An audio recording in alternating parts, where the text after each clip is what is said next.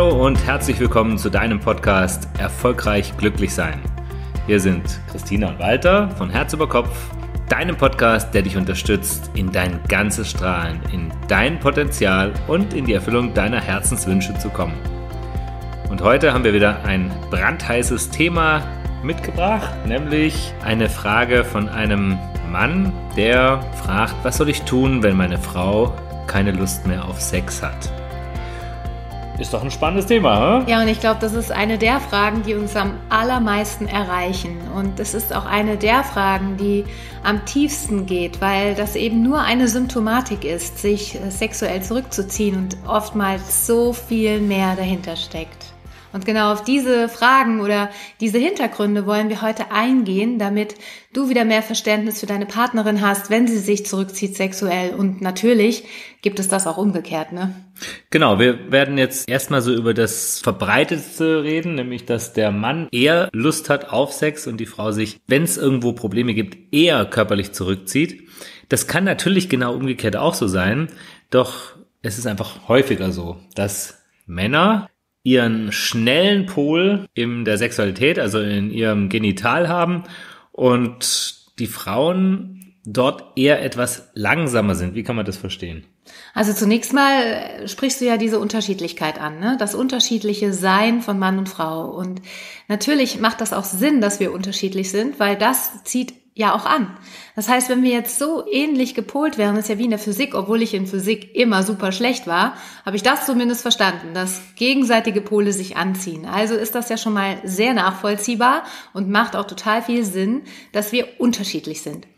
Aber genau dieses Unterschiedliche, das wird uns dann halt doch auch manchmal zum Verhängnis, sag ich mal. Das heißt also, bei Frauen ist es vielleicht eher so, und das kenne ich auch von mir, wenn die emotionale Nähe nicht da ist, dann funktioniert auch die Sexualität nicht. Weil wenn ich mich als Frau nicht geliebt oder gesehen fühle, dann möchte ich auch überhaupt keine körperliche Nähe zu meinem Mann haben. Und umgekehrt ist es manchmal beim Mann, dass er denkt, oh Mensch, wir könnten noch mal wieder Sex miteinander haben, das würde doch auch wieder zu mehr emotionaler Nähe führen. Und da haben wir das allergrößte aller Themen, weil wir Frauen unseren schnellen Pol, wenn wir mal von Polen reden wollen, den schnellen Pol haben wir am Herzen oder im Herzen. Das heißt, wir Frauen, wir sind sehr schnell emotional, das kennst du vielleicht auch, sehr schnell auf 180. Wenn irgendwas ist, dann regen wir uns drüber auf oder wir ziehen uns auch sehr schnell zurück und sind dann beleidigt. Oder wir werden auch schnell mal so ein bisschen emotional übergriffig. Das heißt, dann hauen wir dem anderen die Sachen um die Ohren, statt vielleicht fünf Minuten länger nochmal drüber nachzudenken und das Ganze für uns erstmal noch zu reflektieren, bevor wir es dem anderen um die Ohren hauen. Und der Mann ist da eher so im langsamen Pol. Das heißt, er braucht eher auch so ein bisschen länger, bis er sich dann möglicherweise mal aufregt oder dann auch was zurück sagen kann. Das heißt, er fühlt sich damit manchmal vielleicht sogar auch überfordert, überfrachtet. Und wenn er dann abends von der Arbeit kommt, möchte er vielleicht auch nicht eine Stunde erstmal zuhören, was wir so am Tag erlebt haben, sondern will eigentlich eher seine Ruhe. Das Schweigen der Männer. Vielleicht kennst du den Film. vielleicht kennst du das auch dass Männer einfach in diesem emotionalen Pol etwas langsamer sind. Wir reden jetzt in keinster Weise über besser oder schlechter, sondern einfach über die Unterschiedlichkeit. Das heißt, wenn wir Männer verstehen, dass uns dieser emotionale Pol, wenn der überfordert wird, dass wir da eher zumachen, dann ist es einfach mal eine große Hilfe zu verstehen, ah, okay, deswegen tick ich so. Weil Männer, wenn sie so ihre Themen haben, die fangen nicht an darüber zu reden, sondern die ziehen sich zurück und suchen eine Lösung. Die verschwinden in ihrer Höhle und brüten über dieses Thema und kommen irgendwann raus und sagen, jetzt habe ich die Lösung. Das zeigt so ein bisschen diesen Pol, der braucht einfach etwas länger, um Emotionen zu verarbeiten. Da kann es halt sein, dass, und das ist ganz häufig so, dass du jetzt eine Frau hast, die emotional einfach schneller ist, die macht schnell auf und schnell wieder ja, wird, wird schnell heiß und auch schnell wieder abgekühlt. Das merke ich bei Christina immer dass sie, wenn wir uns mal streiten, dann, boah, ja, dann wird sie emotional und nach zehn Minuten fragt sie, wollen wir einen Kaffee trinken gehen? Und da habe ich aber dann zugemacht und sage, nee, ich habe keinen Bock auf Kaffee trinken und da brauche ich dann bestimmt eine halbe Stunde, Stunde, bis ich dann bereit bin, mit ihr wieder einen Kaffee zu trinken. Das heißt also, mein Pol ist langsamer. Er ist einfach langsamer heiß und er braucht dann aber auch lange wieder, um abzukühlen. Also das kann man so verstehen mit diesen Emotionen.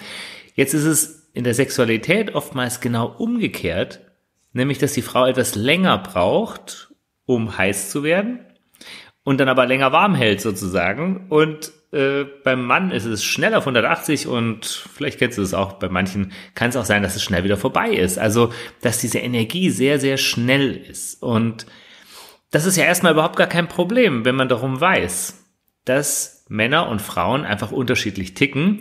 So könnten wir einfach achtsamer miteinander sein, dass die Frau einfach etwas länger braucht in der Sexualität und der Mann mit den Emotionen vielleicht etwas länger braucht, um sie zu verarbeiten und auch nicht so überfrachtet werden will.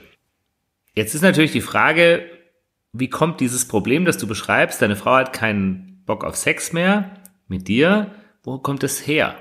Eine mögliche Ursache ist, dass sie sich einfach emotional nicht gesehen und nicht verstanden fühlt.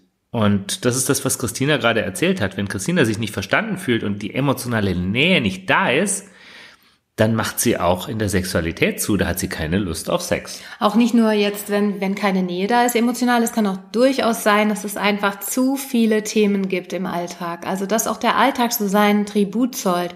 Einfach so viele To-Dos da sind und so viele Listen, die abgearbeitet werden möchten, dass mir das auch die Lust nimmt. Einfach viele Termine am Tag nehmen mir so diese Muse und das mich hingeben wollen und dieses loslassen können. Ich habe dann permanent diese ganzen Dinge im Kopf und mache mir natürlich da auch zusätzlich dann noch den Druck, dass das alles auch erledigt sein soll und äh, doch gemacht werden muss. Also mir ist dann so gar nicht nach Sex und deshalb achten wir da auch immer mehr drauf, dass wir weniger Termine den ganzen Tag über haben, damit einfach immer wieder auch Möglichkeit dazu ist, loszulassen, den Tag zu genießen, das Leben zu genießen. Und ich glaube, das könnte auch etwas sein, wenn man so die vielen Leute und Frauen betrachtet, die Familie haben und dann noch den Job und dann hier noch das Thema und dann noch den Alltag und die Organisation des Ganzen, dann ist das einfach auch für die Frau total viel. Und natürlich halte ich immer eher zu den Frauen, ist ja klar, weil ich selbst eine bin. Das heißt, ich versuche immer noch mal mehr die, die Seite der Frau zu schildern. Und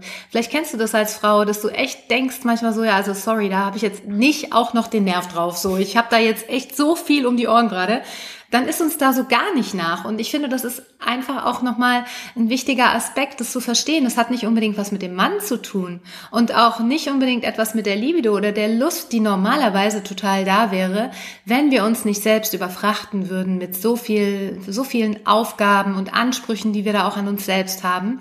Also lade ich dich als Frau wirklich dazu ein, auch immer mal wieder loszulassen und zu gucken, dass du was für deine Weiblichkeit tust. Und dazu haben wir ja schon einige Podcasts aufgenommen. Ich liebe auch immer immer meine Weiblichkeitsseminare, die genau darauf auch nochmal hinführen, dass wir das üben für uns selbst, weil das kann uns keiner nehmen und auch den Alltag kann uns leider niemand nehmen, nur die, den Umgang damit, den können wir üben, anders zu gestalten, so dass wir immer auch mal wieder durchatmen und uns auch bewusst machen, dass es jetzt halt auch nicht alles heute unbedingt sofort sein muss, sondern schon auch einfach ein paar Sachen mal liegen bleiben dürfen und wir uns auch immer wieder vielleicht bewusst machen dürfen, dass das Leben genossen werden will. Das ist auch so etwas, was ich immer wieder meinen Teilnehmern sage und natürlich damit selbst in allererster Linie auch mir, ja.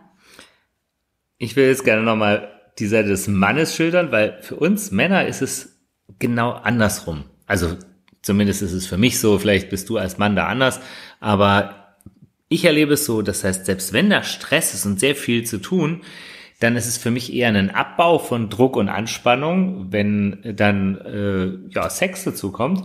Da habe ich jetzt überhaupt gar kein Problem damit. Und das zeigt ja auch irgendwo diese Schnelligkeit der Pole. Das heißt, dieses emotionale Überfordertsein oder wenn da so viel ist, dann ist einfach für die Frau schwierig und für den Mann ist es sogar vielleicht sogar eine Art Druckabbau. Also wir sind einfach unterschiedlich und zu dieser Polarität das heißt schnell und langsam, kommt zusätzlich noch dazu, dass wir vielleicht in dem einen oder anderen Pol auch noch so unsere Themen oder unsere Verletzungen in, in uns tragen. Ich will einfach nochmal dazu sagen, ich glaube, dass jede Frau, die jetzt zuhört, echt überrascht ist darüber, dass das ähm, zu Druckabbau führt, wenn, wenn so viele To-Dos sind, dann Sexualität zu haben. Das ist echt für mich auch immer wieder total überraschend zu hören. Also als mhm. Frau denkt man sich dann oder denke ich mir jetzt so, das kann ja wohl nicht echt, das kann ja echt nicht wahr sein. Wo soll ich mir denn jetzt bitte noch die Zeit? Da kann ich doch überhaupt nicht genießen, ich kann doch gar nicht loslassen. Und dass du das so schilderst, dass das bei Männern genau umgekehrt ist, finde ich immer wieder spannend. Auch der Weg, dass ein Mann Nähe wieder hervorruft über die Sexualität, ist für eine Frau, glaube ich, eher ungewöhnlich. Also ich glaube, wir sind dann eher so gepolt, dass wir sagen, also im Moment mal, ich, ich gehe doch nicht mit dem ins Bett, wenn ich da nicht, also jetzt wirklich totale Liebe und Nähe fühlen kann, da habe ich überhaupt keinen Bock, ja. Also das ist irgendwie wirklich total gegensätzlich und ich glaube, sich das bewusst zu machen, macht ganz viel, macht es sehr viel leichter, weil dann haben wir einfach mehr Verständnis für den anderen und nehmen das nicht so persönlich, ja, weil ich höre immer wieder von meinen Teilnehmerinnen, ja toll, also mit mir mal ein Wochenende wegfahren, da hat er keine Lust drauf, aber mit mir mal eine schnelle Nummer zu schieben, das findet er gut. Da habe ich keine Lust drauf. Für sowas verschenke ich mich nicht. Ne? Und da, da merkst du, das ist für ihn vielleicht sogar die Möglichkeit, wieder Nähe aufzubauen und wir sagen dann, nö, das wollen wir nicht. Also da machen wir es uns gegenseitig einfach auch schwer. Ne? Und du merkst schon, Interpretationen fließen mit rein, also mit mir ein Wochenende wegfahren geht nicht, aber jetzt, also das sind ja alles Gedanken und Glaubenssätze. Und was drunter liegt, ist ja natürlich irgendwie so ein Gefühl, nicht gesehen zu werden, nicht geliebt zu werden, nicht anerkannt zu werden. Und ich glaube, da ist auch eben genau das, was ich gerade angefangen habe zu erzählen, dass oftmals da Verletzungen in den Polen sind, nämlich dass auch so dieses Gefühl, für etwas benutzt zu werden, für Druckabbau benutzt zu werden, da haben glaube ich, sehr wenig Frauen wirklich Bock drauf. Das glaube ich auch. Und ich sag mal so, es gibt natürlich auch Frauen, die das genauso leben, nur die Mehrzahl ist einfach männlich. Und ich glaube, ja, diese, diese Nähe herzustellen, funktioniert halt auch wirklich nur, wenn ich meine Themen dabei kenne und vielleicht auch ganz ehrlich und offen mit meinem Partner über diese Erfahrungen oder Themen rede, dass ich das Gefühl habe, du, irgendwie fühle ich mich einfach auch nicht gesehen und ich habe gerade einfach nicht so das Gefühl, dass wir so eine Nähe haben. Und deswegen funktioniert das gerade bei mir nicht so gut. Und zwar ohne Vorwurf, sondern einfach es anzusprechen, um wieder näher zueinander zu kommen. Weil das ist wirklich etwas, was bei uns zumindest gut funktioniert, ist, wenn wir Dinge ansprechen, dass sie sich auflösen können, als wenn wir sie unter den Teppich kehren, weil da lösen sie sich meistens nicht auf, sondern kommen bei der nächsten Gelegenheit raus. Also wirklich ehrlich und authentisch mit den Gefühlen und mit den Situationen zu sein mit deinem Partner, anstatt sie totzuschweigen. Und ich glaube, genau das ist das Hauptproblem in der Sexualität, dass wir einfach viel zu wenig darüber reden, was gerade ist oder was, warum es gerade nicht ist. Ich finde auch so einen wichtigen Aspekt, dass das Ganze absichtslos sein darf. Also wenn ja, und da braucht es eben auch wieder für mich die Zeit. Also diese die Sexualität funktioniert für mich am besten, wenn ich das Gefühl habe, jetzt auch im Umgang miteinander wird nicht jetzt irgendetwas gewünscht oder erfordert oder ich muss jetzt nichts leisten, sondern ich darf mich einfach hingeben und sein und darf das Kuscheln miteinander genießen und die Zeit einfach so fließen lassen. Das macht für mich dann ja auch irgendwie das ganze lebbarer und liebevoller und angenehmer, weil ich nicht die ganze Zeit diesen Druck des Mannes spüre, der jetzt irgendetwas will. Das ist ja immer etwas, was per se erstmal abturnt, wenn der andere unbedingt was möchte. Und da ist es auch wirklich hilfreich, es so zu leben, wie wir es leben, nämlich dass wir uns gegenseitig in diesem Punkt einfach sehr viel und sehr offen erzählen, dass wir ohne jetzt vom anderen etwas zu erwarten, es vielleicht auch einfach selber leben und es keinen so einen Druck und seine Erwartungshaltung für, für Sex gibt. So, das muss jetzt zweimal die Woche passieren und zwar immer dann. Und für manche Paare bleibt gar kein anderer Ausweg, als dass sie sich den Sonntagvormittag nehmen für Sex, weil sonst so viel zu tun ist. Nur die Frage ist wirklich, ob man das nicht verändern kann, weil das ist, klingt für mich schon als Mann unerotisch. Am Sonntagvormittag um 10, 10 Uhr eingetragen. Um 10 Uhr wird gepoppt und da weiß ich nicht, äh, ob, ob das nicht so ein, so ein Abturner für alle ist, sondern vielmehr eben diese körperliche Nähe entstehen zu lassen und eben auch Sexualität zu leben, ohne miteinander zu schlafen, sondern es einfach in den Alltag zu integrieren. Und das haben wir bei unseren früheren Beziehungen nicht so gut hingekriegt, aber in unserer Beziehung funktioniert das wirklich toll, weil ich von Christina überhaupt nichts brauche, weil ich mich total ausgelastet und äh, erfüllt fühle. Und, und, du das eben auch alles dir selber erfüllst. Also du bist nicht abhängig von mir. Und das ist, glaube ich, ein ganz wesentlicher Aspekt, dass niemand vom anderen gefühlt abhängig ist. Also nichts braucht, wie du schon gesagt hast. Wenn ein Mann, glaube ich, auch so zu uns kommt und schon erzählt, ja, aber wir haben jetzt schon seit Monaten keinen Sex mehr und das kann doch nicht sein, da hat meine Frau doch echt ein Thema und ein Problem das per se ist natürlich auch eine Energie, die du als Mann ausstrahlst. Das kommt bei der Frau an. Und glaub mir, das ist nicht besonders sexy, weil ich mir dann als Frau auch denken würde, Moment mal, wer von uns beiden hat jetzt hier tatsächlich wirklich das Thema und was ist das überhaupt für eine Anschuldigung? Und vielleicht kannst du auch mal bei dir schauen, warum das so ist. Also solche Vorwürfe zu machen und wenn sie auch nicht mal ausgesprochen sind, denk immer daran, du bist nicht nur dieser Körper, du bist ein energetisches Wesen und deine Ausstrahlung und das, was du aussendest, kommt auch an. Und Frauen sind besonders fühlig und bekommen genau auch das mit. Das heißt, deine Gedanken, die du denkst, kommen bei ihr an. Und das per se würde auch bei mir alles zumachen. Da würde ich sagen, weißt du was? guck dir dein Thema an und dann kannst du wiederkommen. Also da wäre ich dann auch ziemlich militant, ja, muss ich ehrlich sagen. Genau, und wenn, wenn tatsächlich in deiner Beziehung es so ist, dass du seit Monaten keinen Sex mehr mit deinem Partner hast, natürlich ist da ein Thema dahinter. Das ist jetzt für unsere, für unsere Vorstellung von Beziehung einfach eine wichtige Säule. Und wenn in keiner Form Sexualität über Monate passiert, dann ist etwas eingeschlafen und da ist vielleicht auch etwas, was, was dagegen arbeitet. Wie wir es vorhin schon gesagt haben, dass ihr euch nicht gegenseitig gesehen fühlt, dass ihr diese Nähe gar nicht mehr aufkommen lasst, dass dort vielleicht auch einfach andere Ursachen liegen und in so einer Art Nähe-Distanz-Thema da könnte zum Beispiel auch eine Ursache davon liegen, dass eure Sexualität eingeschlafen ist. Und was heißt das Nähe-Distanz-Thema? Nähe-Distanz-Thema heißt ganz einfach, dass beide, auch wenn der, der sich mehr Nähe wünscht, auch dabei ein Thema hat, genau wie der, der sich eher auf Abstand setzt. Warum? Weil letztendlich beide irgendwo wirkliche Angst haben, sich ganz einzulassen, wirklich ganz nah miteinander zu sein. Da kann es sein, der Mann möchte gerne diese körperliche Nähe, lässt aber die emotionale Nähe nicht zu. Und die Frau wünscht sich gerne emotionale Nähe und lässt die körperliche nicht zu, also körperliche nicht zu. Also ist dort wie so eine Art Teufelskreis, der natürlich immer weiter auseinanderführt. Und du hast mal erzählt von einem Nähe-Distanz-Thema mit deinem Freund, dass genau. letztendlich die emotionale Nähe bei beiden total da war. Ja, es kann natürlich auch sein, dass wir, wenn wir in eine Beziehung gehen, wir lassen hier nie unsere Vergangenheit zurück, sondern wir nehmen immer auch unsere Kindheit mit und die Erlebnisse, die wir da hatten. Und ich hatte mit meinem Ex-Freund das Thema, dass nach drei Jahren Beziehung die Herznähe so nah war, die emotionale Nähe so schön floss und wir uns so nah waren, dass er angefangen hat, die sexuelle Nähe zu blockieren. Und ich natürlich immer mehr mich gefragt habe, warum ist das so? Und die Schuld erstmal auf mich gezogen habe. Das ist eben auch so ein Punkt, den wir hier unbedingt ansprechen wollen, dass du, wenn du das Gefühl hast, die Sexualität fließt nicht mehr, nicht nur bei dir schaust, sondern generell auf das Thema blickst. Und so hat auch mein Ex-Freund damals angefangen, sich mit sich zu beschäftigen und zu schauen, okay, warum ist das so, dass mein Herz fließt und überfließt vor Liebe und ich dennoch die Sexualität nicht mehr haben mag. Und wir haben festgestellt, dass da definitiv ein Nähe-Distanz-Thema zugrunde lag. Und jetzt könnte ich ja gesagt haben, oh, ah, du hast ein Nähe-Distanz-Thema, dann schau dir das mal an.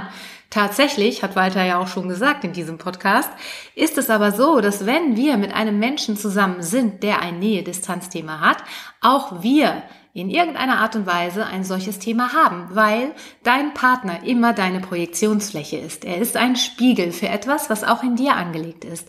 Und meistens ist der eine Teil der Beziehung so der, der das aktiv lebt und der andere eher passiv. Das heißt, du bist dann die, die sich das zwar wünscht, vom Bewusstsein her, vom Unterbewusstsein her, aber genau solche Näheverhinderer auch in sich hat.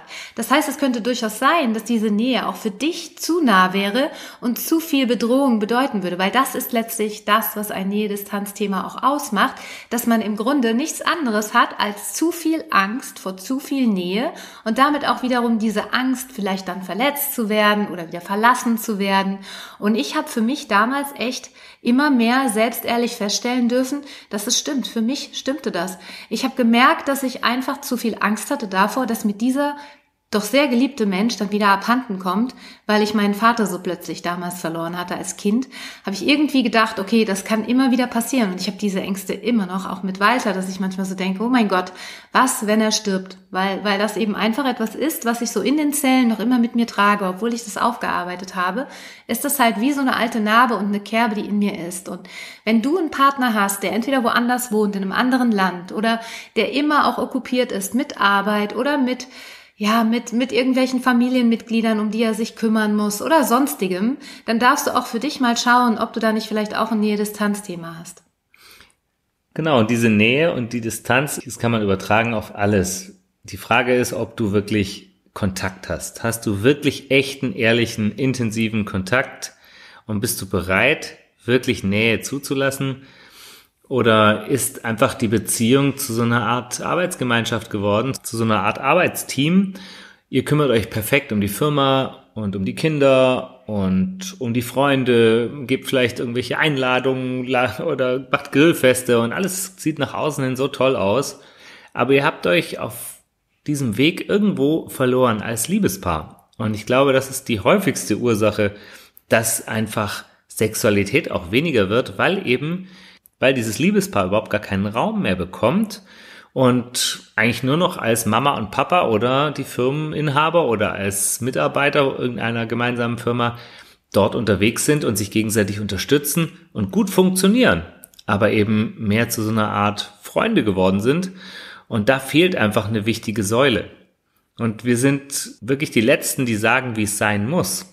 Die Frage ist nur, die Körperlichkeit ganz auszuschließen, würde für uns nicht in Frage kommen, weil einfach was ganz, ganz Wichtiges und Schönes fehlen würde, nämlich so eine Art Klebstoff, wie du so mal sagst, gell, so ein Klebstoff in Beziehungen. Warum? Weil während der Sexualität tatsächlich auch Botenstoffe ausgeschüttet werden im Gehirn, die dieses Verliebtheitsgefühl wieder aktivieren und wirklich auch emotionale Nähe stärken. Das heißt, du kannst mal für dich schauen, wo hast du deine Energie hingelenkt in eurer Beziehung? Wo ist die Energie gerade? Denn jede Energie, die du aus deiner Beziehung lenkst, also weg von ihr, schwächt die Beziehung natürlich. Wenn also deine Energie sehr auf die Kinder geht oder sehr auf den Job geht, dann ist es ganz klar, dass sie in der Beziehung fehlt und dass dir der Raum auch fehlt für die Beziehung. Das heißt, als allererstes dürft ihr vielleicht wieder schauen, dass ihr euch anders begegnen lernt, dass ihr eben euch den Raum auch mal schafft für ein gemeinsames Wochenende oder vielleicht auch für eine gemeinsame Nacht. Einfach nur mal irgendwo sich vielleicht für eine Nacht in einem Hotelzimmer einmieten oder den Tag sich frei nehmen und die Kinder mal wegorganisieren, ohne sich sofort den Druck zu machen, dass da jetzt sonst was passieren muss, weil das ja auch schon wieder ein totaler Killer ist, zumindest für die Frau. Also so kenne ich das zumindest. Wenn ich jetzt das Gefühl habe, oh, jetzt muss aber heute sonst was hier passieren, dann passiert meistens gar nichts, weil mir das schon wieder hm. viel zu viel Druck macht. Also da einfach auch so zu schauen, okay, wie können wir das vielleicht auch wirklich immer mal wieder initialisieren, dass wir einfach einen Raum für uns als Paar haben und dass die Kinder dann auch tatsächlich mal oder die Firma mal Firma sein lassen und einfach wieder einen Raum schaffen für das Paar sein. Und wenn du jetzt glaubst, das geht nicht, weil so viele Termine anstehen und ja, jetzt haben wir gerade hier das und das auf dem Programm und unmöglich, also wir können da über zwei, drei Monaten darüber sprechen, dann kann ich dir aus meiner Erfahrung sagen, bei den Coachings, die wir hier machen, ich gerade mit den Männern, dass in dem Moment, wo die Frau plötzlich geht oder weg ist oder mit einem anderen im Bett ist, dass dann plötzlich alles möglich ist. Dass dann plötzlich sogar möglich ist, die Firma zu verkaufen oder zu kündigen oder ein Jahr nach Hawaii zu fahren, dann ist plötzlich alles möglich, weil so die sicher geglaubte Basis vieler Männer plötzlich wegbricht. Und das ist einfach wichtig, dass du dir das vorher schon klar machst, warum. Natürlich geht es auch in deinem Job.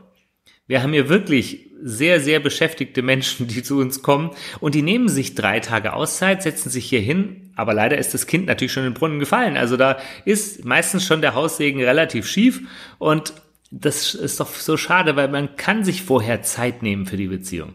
Selbst wenn du dir zehn Minuten alle drei Tage, na sagen wir mal, einfach so jetzt aus der Hüfte geschossen, zehn Minuten alle drei Tage nimmst, um mit deiner Partnerin oder mit deinem Partner Zeit zu verbringen und ein intensives und ehrliches Gespräch zu führen, tust du mehr als die meisten Menschen sowieso das ganze Jahr über tun. Ich finde auch ganz wichtig die Wertschätzung. Weißt du, das ist auch noch so ein Aspekt, den ich unbedingt anbringen möchte, der die Sexualität zum Einschlafen bringt, wenn wir nicht mehr einander diese Wertschätzung schenken. Das ist natürlich für uns Frauen das totale Geschenk und der Herzöffner pur, wenn wir gesagt bekommen am Tag, wie schön wir ausschauen, wie besonders wir sind und was mein Partner an mir liebt. Ich liebe das und es öffnet mein Herz. Und natürlich dürfen wir Frauen, und dann möchte ich dich direkt ansprechen, das auch unserem Partner sagen. Also, wenn du dazu tendierst, deinen Partner in irgendwelche Schubladen zu stecken, was wir alle letztlich ja tun, und ihn dort dann irgendwann geparkt zu haben unter, ja, der will immer nur Sex und ach, und seine Firma, das ist ihm eh das Wichtigste, und sein Verein und seine Kumpels und seine Fußballreise, sowas langweiliges, ach der, naja, besser als keiner. Ne, Sage ich jetzt mal übertrieben. Wenn, wenn so deine Einstellung zu deinem Partner ist, dann ist das natürlich schwierig und zeigt jetzt nicht unbedingt, dass du sehr viel Wertschätzung und Bewusstsein über das, was er auch mitbringt, an den Tag legst. Und das dürfen wir uns ganz selbstehrlich dann auch eingestehen und schauen, dass wir das unbedingt verändern. Weil natürlich jeder das auch wahrnimmt. Auch da strahlst du wieder all das aus, was da in dir so an Gedanken über deinen Partner ist. Also möchte ich dich wirklich ermutigen, mal so zu gucken, was denkst du über deinen Mann im Moment? Was für Gedanken sind da in dir? Wo kommen die her? Sind es vielleicht Gedanken, die deine Mutter und deine Großmutter schon hatten und die du nur einfach immer wieder dir selbst auf deiner Festplatte, die in deinem Hirn läuft und läuft, soufflierst und nach außen gibst und die möglicherweise Sexualität total verhindert? Und dann schau einfach auch mal, ob du ihm nicht neu begegnen kannst, ob du ihn mal rausholen kannst aus diesem so und so ist er und ihn nochmal neu betrachten, als würdest du ihn jetzt direkt neu kennenlernen. Was gefällt dir an ihm? Und wenn du etwas findest, was dir an ihm gefällt, was ich mir sehr wünschen würde, dann sag ihm das. Sprich es alles aus. Das ist etwas, was ich total liebe und was wir sehr, sehr, sehr intensiv praktizieren. Und zwar vom Herzen gemeint, das zu sagen, was wir am anderen sehen und wertschätzen. Es ist so wichtig, am Abend unsere fünf Guten zu machen, zu sagen, du, das fand ich heute toll und das hat mir gut gefallen. Und vielen Dank übrigens dafür, dass du das und das für mich heute gemacht hast. Diese Dankbarkeit und Wertschätzung ist das, Aphrodisiakum schlechthin. Für alle Männer und alle Frauen da draußen ist das mein ultimativer Tipp. Ich glaube, das bringt vieles wieder zurück, was eingeschlafen ist, bringt auch die Energie wieder in die Beziehung zurück und öffnet für neue Chancen miteinander. Ich würde gerne noch einen anderen Punkt ansprechen, den ich auch immer wieder bei Coachings von Männern beobachte, die jetzt so im Scheidungsprozess sind oder die aber eine neue Frau gefunden haben. Was echt spannend ist, die sind vielleicht schon 20 Jahre mit der alten Frau zusammen und jetzt sind sie gerade ein Jahr mit der neuen Frau zusammen und plötzlich wird der Körper wieder trainiert, plötzlich kaufen sie sich neue Unterhosen. Vor, ja. Vorher hatten sie vielleicht 20 Jahre dieselben alten Schlüpper und jetzt kaufen sie sich so richtig schöne, enge, knackige Unterhosen und fangen an, sich wieder zu rasieren und machen, machen ihren Körper schön für diese meist jüngere Frau. Und das Spannende ist doch, dass sie das vorher haben schleifen lassen. Also das fällt mir jedenfalls immer wieder auf. Plötzlich denke ich mir, hm, den hatte ich doch schon mal bei einem Seminar, da sah der irgendwie ganz anders aus. Da hat er irgendwie eine alte Strickjacke an und irgendwie verbeulte Hosen. Und jetzt ist er da irgendwie schon so ein bisschen so einfach frischer, der strahlt was Neues aus. Und ich glaube, wenn du dir wünschst als Mann, dass die Beziehung belebt wird, dann ist es schon auch ein Tipp, mal zu überlegen, die Frau kennt dich jetzt seit 20 Jahren vielleicht oder seit 15 und vielleicht schaust du dich nochmal genau an im Spiegel und überprüf mal deine Klamotte und auch mal so die, die Friese. Wie siehst du aus? Und ich meine, Christina guckt mich jetzt gerade an, weil ich auch gewisse Sachen habe, die ich auf gar keinen Fall ablegen will. Es gibt nämlich so ein paar Shorts, die ich einfach cool finde, weil sie einfach geil abgeratzt sind. Also verlier dich dabei nicht. Mach so, wie du es geil findest. Aber vielleicht so, stell dir einfach mal vor, du würdest jetzt eine neue, in eine neue Beziehung hineingehen und wie würdest du dich da anziehen? Wie würdest du dich da verhalten? Würdest du da auch den Furz rauslassen oder den Rülpser oder würdest du das lassen? Und ich kann dir garantieren, bei einer neuen Frau würdest du es lassen. Also so ein bisschen Spiel doch mal verliebt mit deiner Frau, genau, die mit, mit, der, mit der du schon 20 Jahre zusammen bist. Und natürlich wird sie fragen, was ist mit dem los? Hat er eine neue oder ist der, hat er ein schlechtes Gewissen oder was? Aber es spielt keine Rolle. Spiel einfach mal damit, dass du dich auch selbst geil findest. Weil diese Selbstliebe und die Beachtung deines eigenen Körpers, die strahlt etwas aus, was anziehend wirkt. Und wenn du dich selbst vernachlässigst, wenn du merkst, oh ja, mein Bierbauch wird immer größer, ja, ich meine, die Frage ist nicht, dass du es für sie tust, sondern wie willst du in zehn Jahren aussehen? Das ist doch die Frage.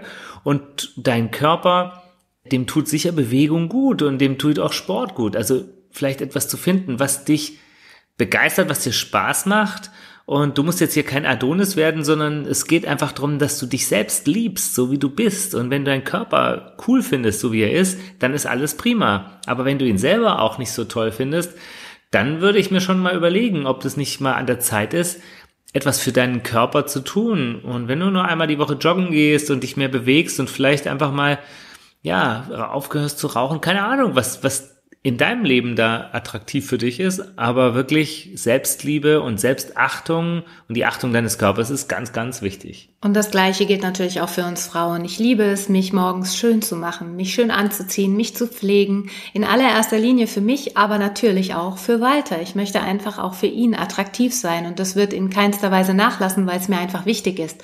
Und ich schon oft mich gefragt habe, wieso das bei manch anderen so in den Hintergrund gerät.